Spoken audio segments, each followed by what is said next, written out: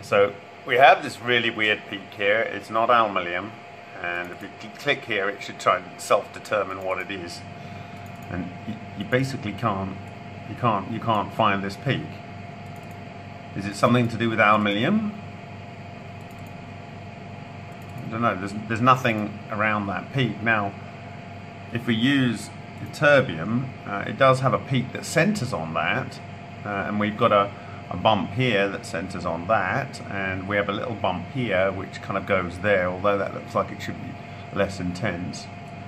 But we're not seeing these lines down here and we're not seeing these lines up here. Um, I mean are we seeing those lines? I don't don't think that we're seeing those. And we might be seeing this line here, here, unless that's copper. Let's see what copper does. No, copper's not got a line there.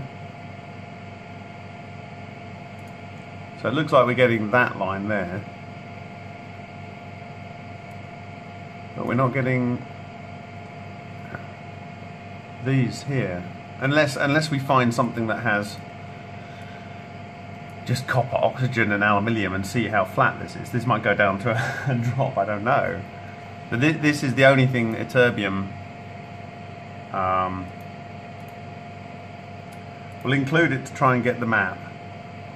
So if we look at the spectra here, um, where's our things? Where's our lines, our images? How do we see those? Sorry, Yana. You, you, what did what did you say about this? This is the first sample where you can't tell what it is. You don't know what it is. Okay. I can hear Yuri Bazhutov saying new kinds of material. So uh, we think it might be zinc. Uh, there's nothing going on down here for the zinc lines, um, which is interesting because we're not getting there, but something there. But if we go to the terbium well, the, the zinc doesn't do anything for this, does it? Um,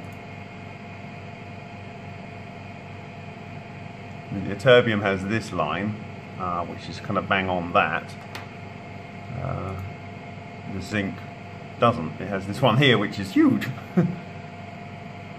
uh, we, have, we have a material we can't really identify. We've been through the entire periodic table and uh, as Yuri Bazhutov would say, new kinds of material.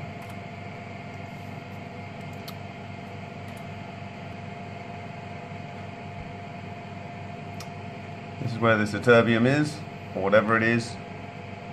Um, and according to the software, it can only determine copper oxide and basically nothing else. It's completely confused.